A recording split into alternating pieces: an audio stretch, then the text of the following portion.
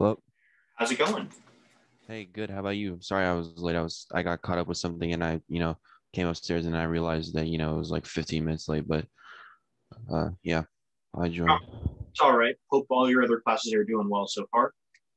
Yeah, yeah, they're fine. I had a I had a quiz, a chemistry quiz, and it was on nomenclature, so that was um taking a while because this stuff is I don't know, this is getting confusing. Like some of the things like that they teach us contradict other things that I've been taught before. So, and this professor doesn't always respond to his email, or honestly, he never does. So, I have to wait till the next class to ask him. So, I was writing down all that stuff that I had questions on.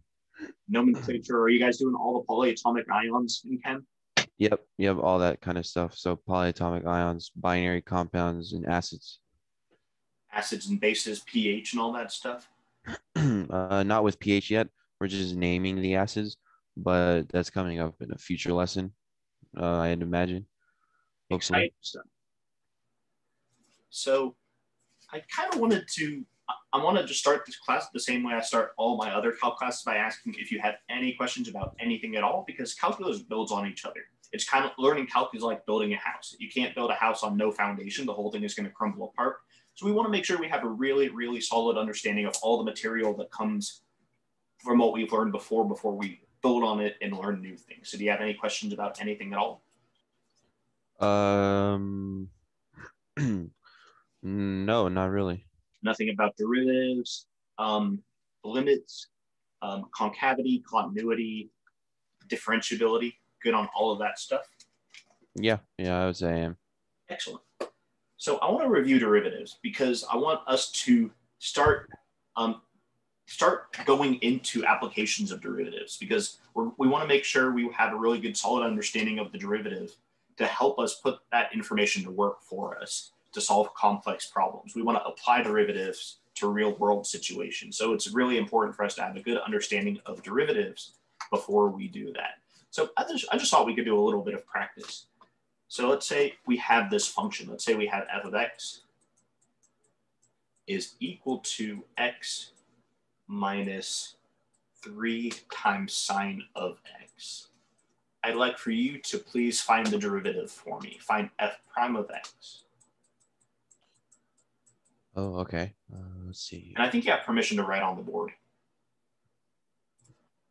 Um, let me check. Yeah, I think I do. I do. Great.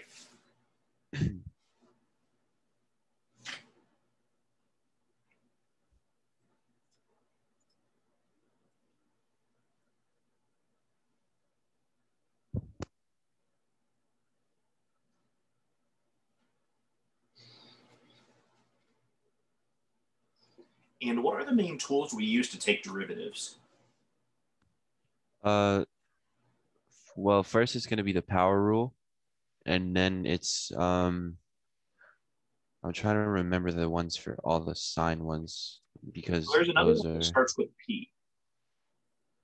You have the power rule already. There's another one that starts with P. Do you remember that one? um.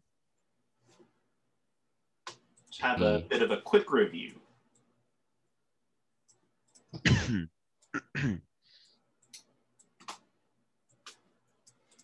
So, what does the power rule tell us? Uh, the power rule tells us how to differentiate when you have um x to a power. Exactly. Just X. Uh, x when it can when it has a coefficient. I mean, it can have a coefficient.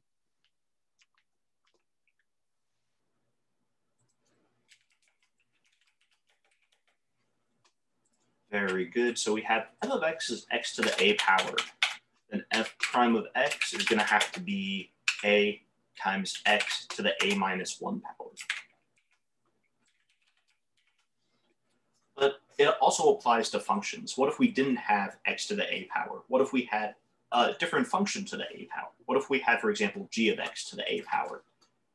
Does the, do the mechanics work the same way if we have a function and not just a single variable? Hmm.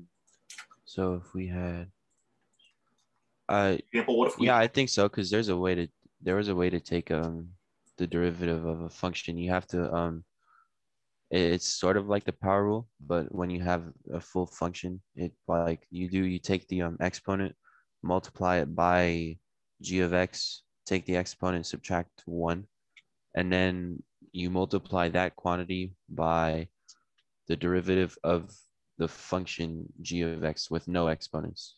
Perfect. Exactly right. What do we call that rule? Oh, is it the product product rule or Well, the product rule is one of them, but this is not. product? rule? What's the name of this rule that you just described for us? Taking the derivative of g of x and multiplying that by everything. What do we call that rule?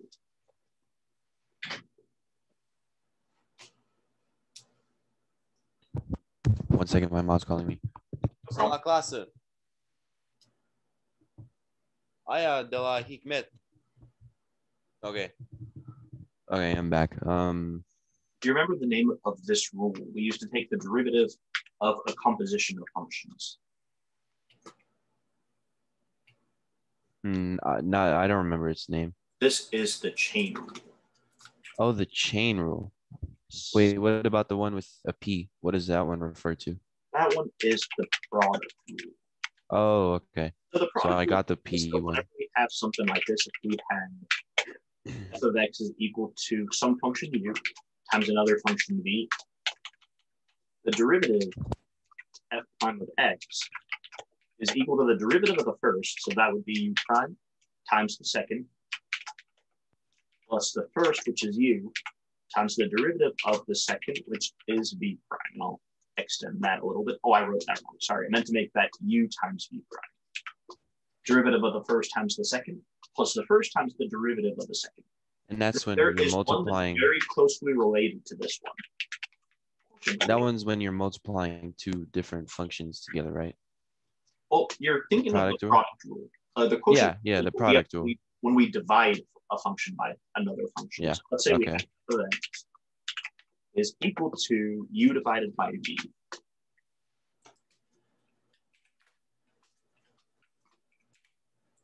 Called the quotient rule because we have a quotient with one function upstairs and then we have a separate function downstairs. So do you remember how to take the derivative of a function like this, where we have a rational expression, one on top and one on the bottom? I believe it's um the derivative of both of them. You take you have to take the derivative of both. Um, but I hmm, You're on the right track. It does involve the derivative of u and v, but there is a very specific way of doing it. let me let me get a piece of paper because I'm gonna start taking notes during class. Good call. Let me know when you have paper and pencil, and we'll continue. I'm gonna get another Papers coffee right actually. here. While you're doing that, I'm gonna refill my coffee real quick. Okay, I have a paper. It was right there, but uh, take your time.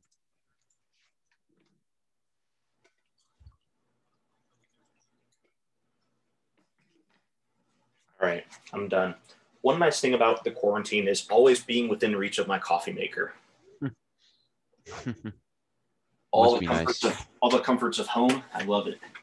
So um, we're gonna be we were last talking about quotient rule. The quotient rule works like this. So if we have a top function, call that u, and a bottom function, call that v. The derivative is going to be the derivative of the top. So that would be u prime times the bottom. And then instead of plus like we do for the product rule, we're actually going to subtract them this time. It'll be minus the top times the derivative of the bottom. Okay, that makes sense. Mhm. And then we're going to put all that over the square of our bottom function. So in this case, it would be v to the second.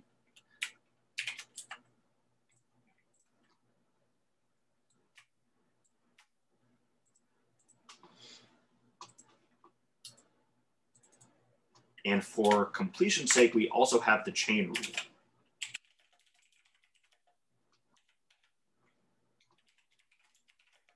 So if f of x is equal to u times v, and we want to take the derivative of this, you already described it pretty well. You gave a really good explanation about how the chain rule works. You didn't know what it was called, but the important thing is you knew the mechanics really, really well. And it's one of the tough ones. I, would say that the chain rule is the, the toughest out of these four to really grasp and get the hang of. So the chain rule tells us that whenever we have a composition of functions, the derivative is going to be the derivative of the inner, the derivative of the outer function We're going to leave the inner one alone, and then we're going to multiply that whole thing times the derivative of the inner function, which is v prime. So that is the chain rule. That's all four of our basic derivative rules. Do you think we could also go over the um, derivatives of the uh, of the trigonometric functions? Because Oh, yeah, uh, def I, I kind of forgot those, but you know, quickly just so I can get the notes down because I know how to apply them and whatnot. No problem.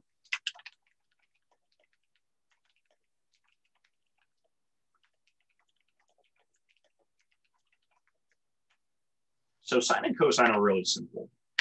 Derivative of sine is cosine. And the derivative of cosine is negative sine.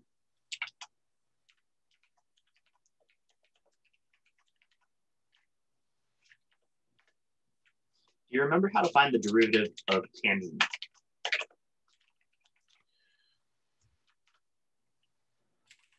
I think we have to rewrite tangent as sine over cosine, and then when we take um the derivative of that e that expression, which is equal to tan, we uh, we could apply the um we can apply the quotient rule. Absolutely. I want you to do that for us. It's really good practice. And props to you for remembering that. That's impressive.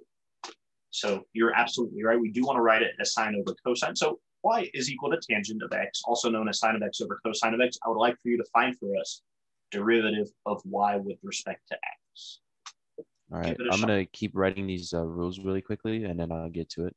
Oh yeah, no problem. No rush. Are you feeling any better, by the way? Oh, I'm feeling so much better. Thank you for asking. That's nice to hear. What was that. wrong, if you don't mind my asking? I just felt like general flu symptoms, like I had Oh, okay. muscles and Probably nasal- just a bad morning. congestion and a little bit of coughing and sore throat. I think mainly I was just sleep sleep deprived, and my body saying, "Dude, get some sleep. Can't handle th- much of this anymore." Well, I mean, you got your sleep right. Yeah. Okay, that's good.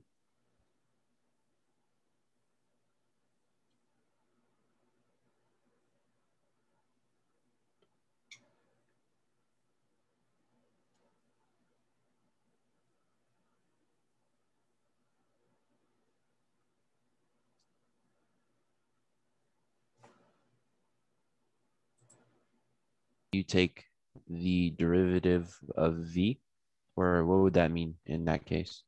So for the first part, we want to leave the inner function alone. So we always have u be the outer function. We always have v be the inner function. So when we're first taking the derivative of something using the chain rule, we're going to leave the inner function alone. We're not going to do anything with it, but we're going to take the derivative of the outer function.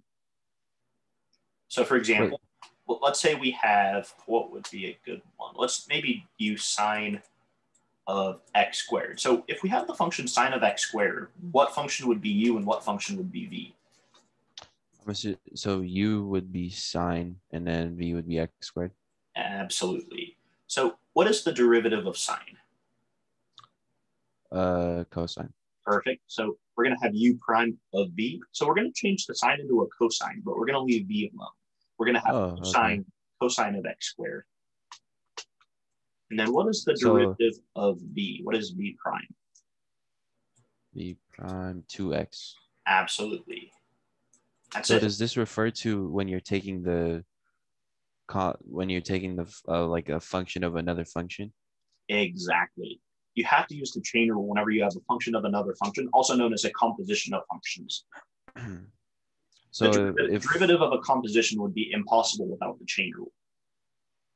So if you had um like if you had u as g of x and v as h of x, would um u prime be g prime of x times v?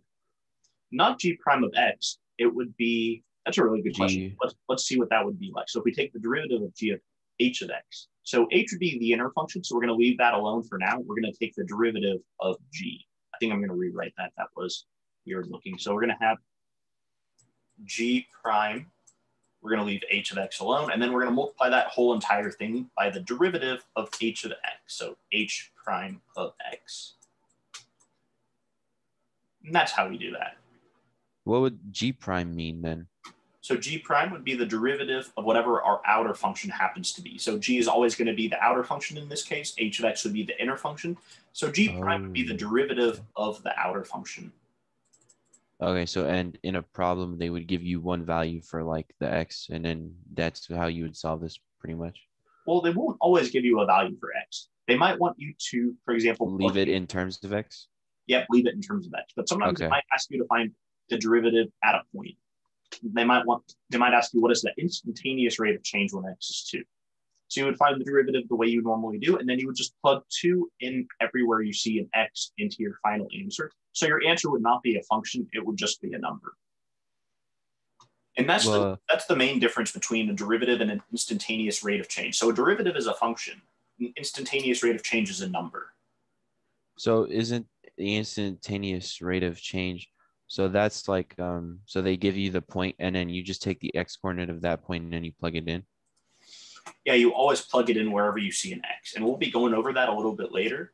Okay. is- Okay. An extension of what we're doing here, for lack of a better word. Okay. So.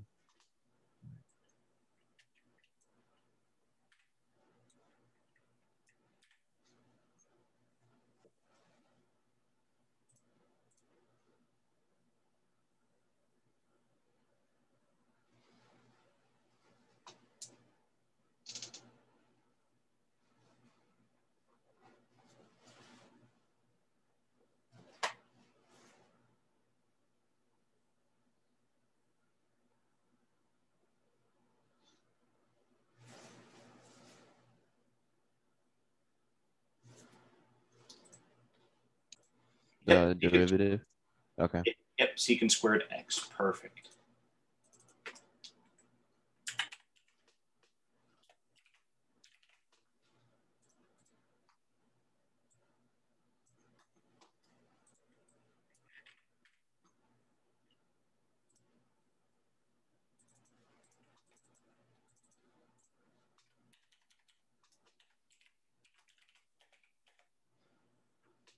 And then we also have cosecant of X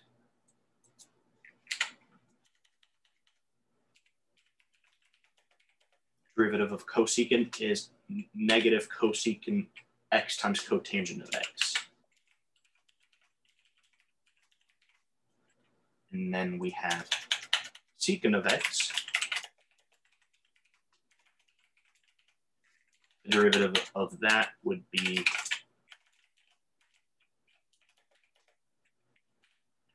secant of x times tangent of x. And then we have just one more.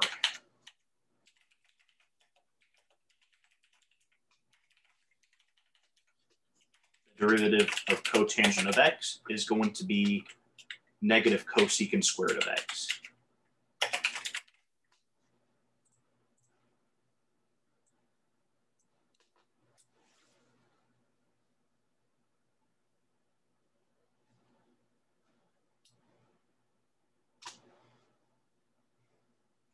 Let me know when you have all this. Just about there. All right.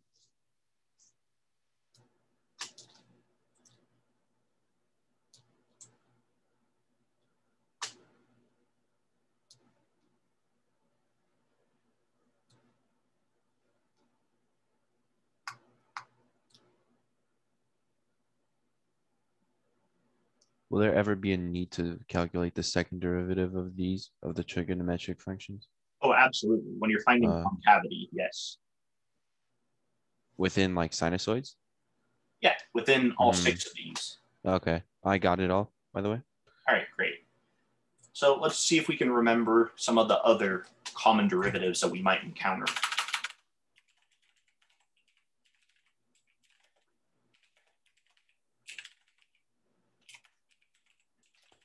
Oh yeah, logarithms. Let's start with e to the x. Do you remember what the derivative of e to the x is? I think it was just e due to um the natural log, uh, either e or one. I think it was really simple. Yeah, exactly. The derivative of e to the x is just e to the x. Ah, e to the x. Okay. And it's the only function that has that unique property that the derivative of itself is itself. No other function has that property. Wait, and this was why? I remember you went over it, but don't exactly remember. If we generalize it, what if we take, oh, excuse me for one second. So if we generalize it, what if we have a different constant that's not e? What if we had a to the x? Let's see if we can take the derivative of a to the x. Derivative of a to the x, it's one of those ones you just want to have committed to memory. So the derivative of a to the x power is going to be a to the x times the natural log of a. So And- what happens if we apply this to take the derivative of e to the x? So we're going to have e to the x times natural log of e. And what is the natural log of e, by the way? One, right? Exactly. So we're just doing e to the x times 1. And so we just get e to the x. The um the function of x where it's equal to a to the x, is it um is the derivative what it is only because that only because x is in the exponent? Only, yeah, that's true because x is the exponent and a is the number. We And you're taking it in terms of x, so that would make it a little more complicated. Yep, exactly. Okay.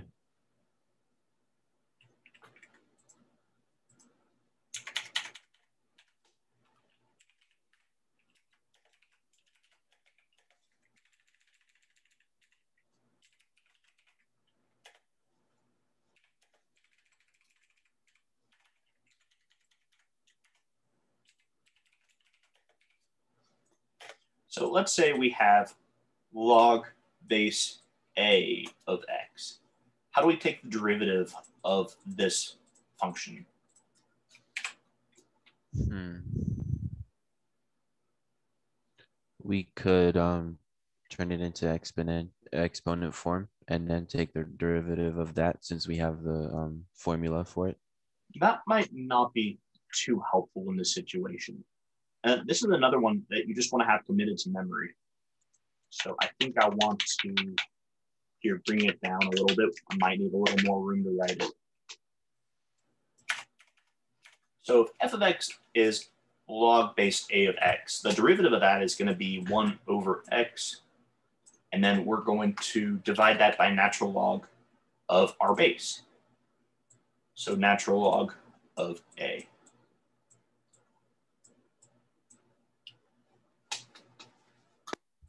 And let's try one more.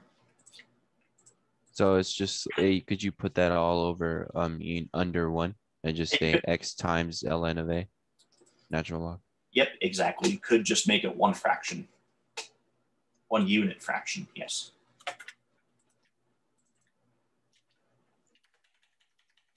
Would all, would um putting that in parentheses and then adding a negative one exponent to the parentheses work as well? Oh, yeah, definitely. Here, let's do that too. That's a good call.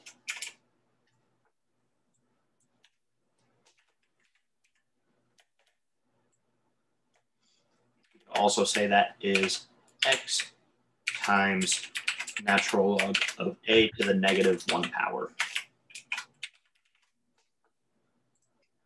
Yep, you definitely could.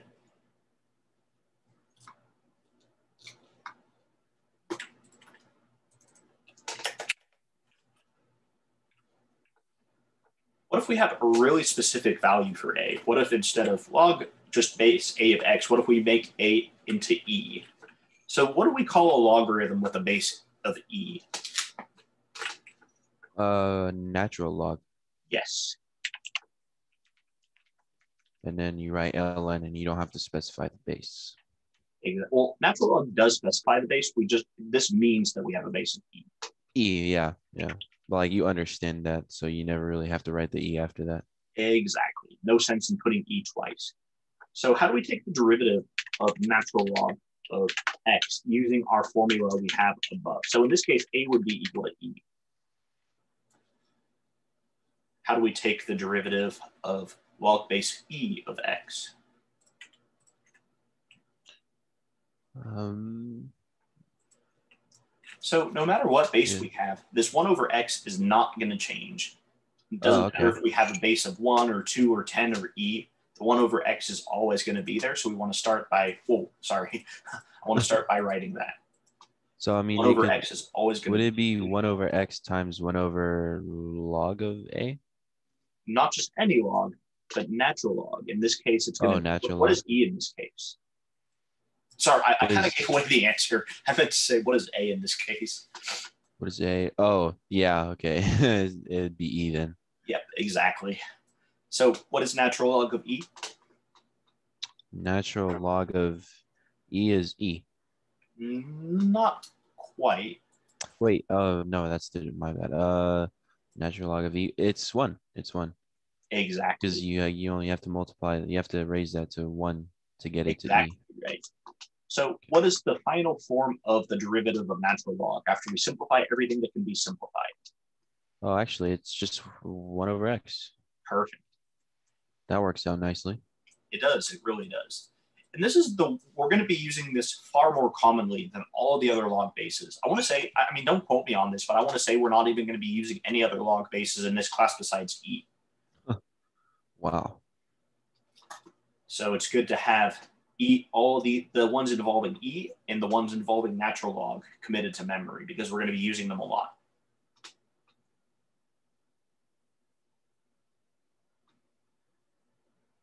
Any questions so far? Uh, no, all good. All right, I want to give you enough time to copy all of this down and then I have it. I have it all down. Perfect. Excellent. So let's go back to some of those derivative practice problems we were doing at the beginning of the class. But before we do that, let me ask you I know you're interested in doing some makeup classes because we missed a few of them. Um, when are you next available for that? Let's see. Um. Are you maybe available today by chance? Uh. Yeah. What time were you thinking today? Well, I have a tutoring, I think, three straight hours after this. So how will Oh. that maybe? Um, So you maybe like five or I mean actually six. yeah, six would be all right. I can do six. Yeah. Yeah. That's good. How do you feel about doing two hours of calculus in a day? Is that too much for you, or do you think it'll? No, not at all. Not at all. Yesterday I must have done like four hours and it was only for the homework. So Oh, we can also do homework if you want. We can work on homework if you have any questions about it. uh no, it's actually it's always due like on Wednesday. So I I mean I've been kind of lazy about it. Like I always do it on Wednesday, but it just it takes a while. Like yesterday, um I understood all of it pretty much. I you know I used the textbook or I I, I like clicked um show me an example sometimes, but um it was about using uh, the first and second derivatives as well as the first and second derivative rules to um locate relative minimum or maximum points of a function in uh and this function was like a real life example of something that you always wanted to minimize or maximize so like there was Really one where it was like a right?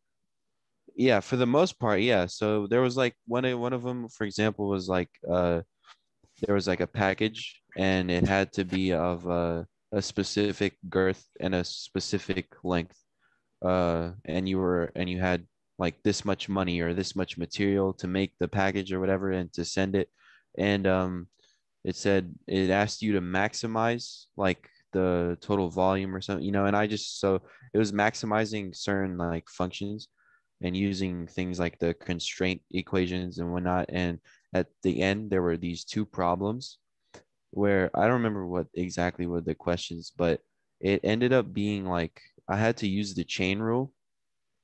Um i had to use the chain rule i think thrice for like one expression. So i took the derivative of one thing and then uh you know the dirt so when you use the chain rule you have the exponent thing the first product and then you take the derivative of what the original function was inside the parentheses.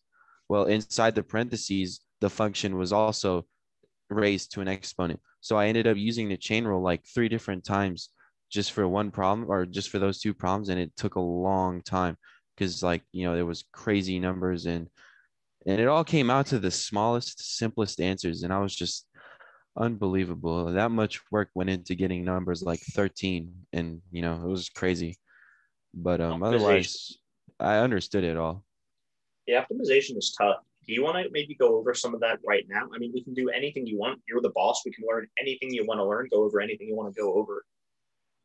Um, like I said, I understood it, but if you want to see it, I'd be happy to go get it because it was an interesting problem. You know, it just well, I mean, it took a while. Just in general, I mean, optimization is tough. I'm not talking about like the specific problems you did, but if you want, we can go over just optimization problems. If I mean, how do you feel about that? Do you feel pretty good with optimization, or do you want to practice it a little bit more? Because most people in my class, classes that I teach, they want to go over it a lot. Um, let's see.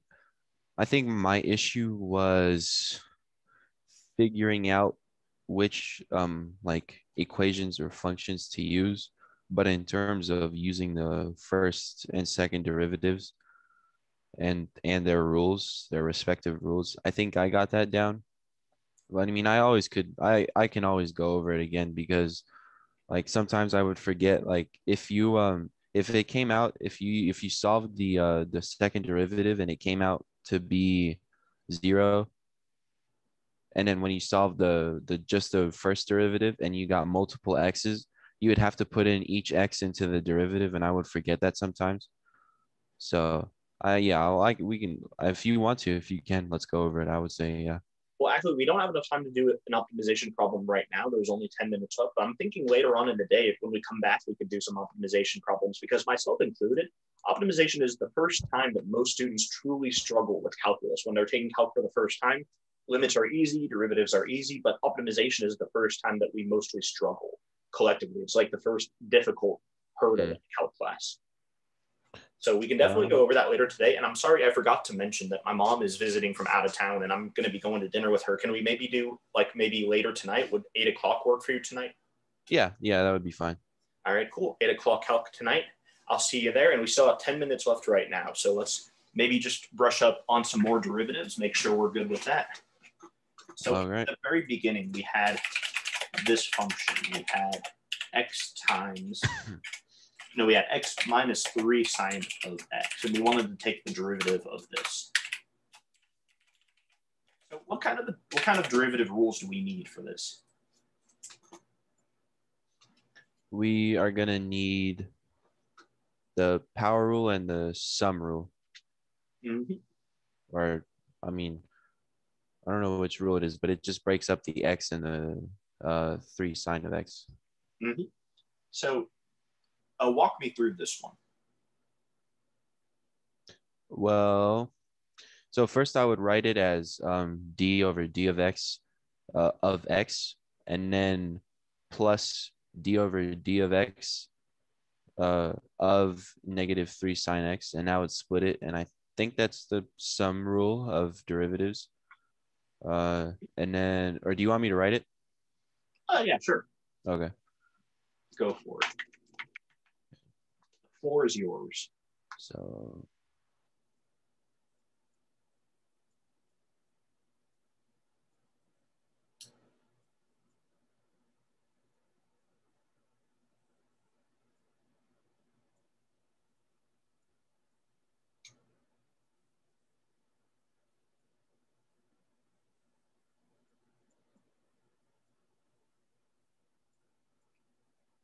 So here we're going to use the power rule for the first for x. So it'll come out to um, one. Mm-hmm. And then can't remember. I think we used um, the it's not the product rule, but I don't think it's the coefficient rule, but this might be only just for limits I, where you take the three and move it outside of the d over d of x. Yep, that's something that works for every calculus operation. Limits, derivatives, integrals, infinite series. That's something that can be done with all of them. So what what is it called again for derivatives when you're taking the derivative?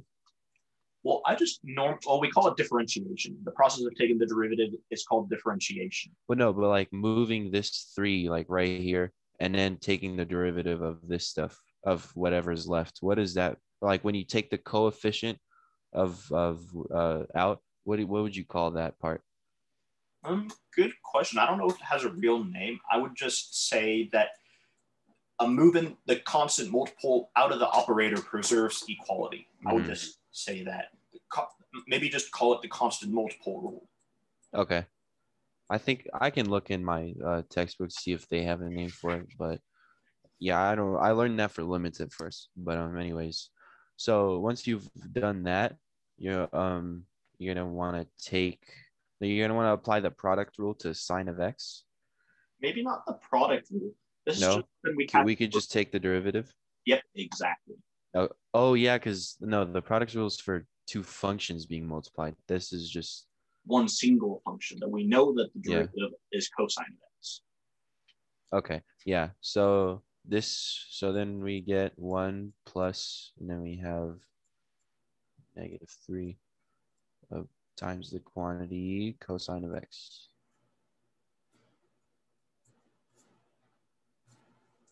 So it becomes one plus negative three cosine of x, and pretty sure you could graph this. I don't remember how, but this very looks very graphable. You have the one and then the negative three. Forgot what those do, but I Could. can review that. Sometimes we can use a graph to analyze information about a function. We can graph the function and then the derivative, kind of like what we did a few classes ago when we compared the graph of a function and the graph, a graph of the derivative of the function to determine information about it. But we're not going to do that today. Oh, actually, I do have a, a question about that. I got another one of those problems. It was the same exact kind of problem.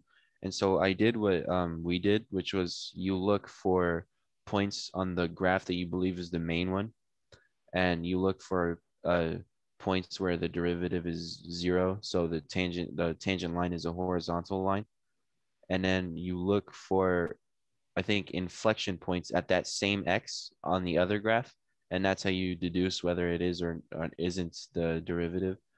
And um, they their graph um, on the derivative graph, like the where the, the points where it changed from increasing to decreasing, didn't exactly line up with the points of the actual graph where the tangent line, uh, or where the tangent line was horizontal. So I was wondering like why it didn't I got what they were trying to say, but you know, like I maximized the image and stuff too, and it just I don't know. Whoa. Um, we might not have enough time, but I definitely do want to see that. Can you Okay. write that on the board? Uh, let me um. Can I pull it up? Yeah. Okay. Do you want to share your screen? Yeah, let's do that. All right. You, the floor is yours when you're ready. Share.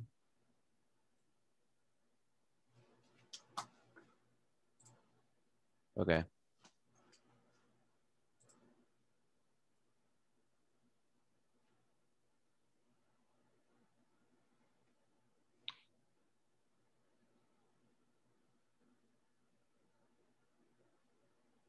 Uh, no, I think it was no, no, no, no, no. It was definitely two point four. Might have been towards the end. Okay, you can see this, right? Yes, I can. Okay. Um, right here. Okay, nice. Determine which is the derivative of the other. So at the very beginning, it's good just to make, make a guess and then see if your information supports that guess. So does f of x have, let's say that f is the derivative of g. So if f is the derivative of g, that means wherever f has a zero derivative, g would have an, an x-intercept. So where does f have, play, uh, do you see any locations where f has a zero derivative? Yeah, so I would say right here, here, and here. All right, very good. And then D, does G have x intercepts at those same exact x values? Yes. Yep, and that's just a really quick way to verify that it, it really is the derivative of the other. So wherever f of x has zero derivatives, g of x would have x intercepts. So what? The, so. Oh, so the oh, so the derivative function just has to have x intercepts has to have x intercepts at where the the derivative has zero derivatives, where it has a horizontal tangent line. Okay, and this so this is because um, why why is this again? I so I It's don't really. because if one of them is the derivative of the other. So let's say we have um, Oh, that's cool. You can write on there. yep, Nice. let's say f prime of x is equal to g of x. So g is the derivative of f of x. So if the derivative of this point, I'm going to call this c. So if f prime of x, At C. f prime of c is zero, then g of c is also going to be zero. So if this is zero, the Oh. other one is zero. And the same thing And- applies to this one right here and this Yeah. one right there. So, okay, so if okay, so then okay, that makes sense because the red one only has two points where the derivative is zero, and there aren't even any x-intercepts for the blue one. Exactly. Okay, that should have went way easier then. But I'll I'm gonna I'm gonna write that down really quickly. Go for it. Or actually no, I'll just I'll write down how to solve or what to look for, and then I'll use that homework as an example. All right. Well, that's all we have time for for today. If you don't have any questions, you're free to go. I'll see you at eight o'clock tonight. Nope, eight o'clock tonight. I'll be there, so I won't be 15 minutes late either. All right, no worries. If if you think you might be late, if you have trouble logging on, definitely shoot me a text or call me real quick, and we'll I'll see if I can help you. Okay. Uh, no, I don't. I just go here, open Zoom from down here, and then uh plug in the uh meeting code. Because every time I click the link, it tries to download Zoom again. But you know, obviously, that's not what I want to do. Well, no worries. I'll see you at eight. All right. See you at eight.